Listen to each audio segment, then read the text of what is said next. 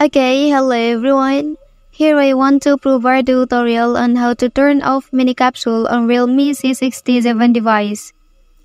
Turning off mini capsule can help minimize interruptions and allow users to focus on their tasks without frequent notification distractions.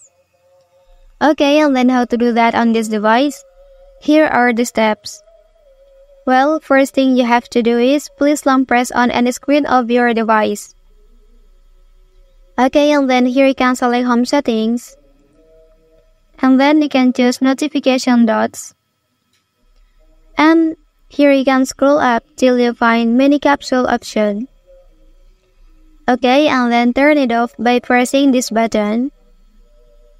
Literally, the decision to turn off mini capsule feature is subjective and depends on individual preferences and needs. Okay, that's the tutorial on how to turn off mini capsule on Realme C67 device. If you are helped by this video, don't forget to like and subscribe to get other information from this channel. Thank you.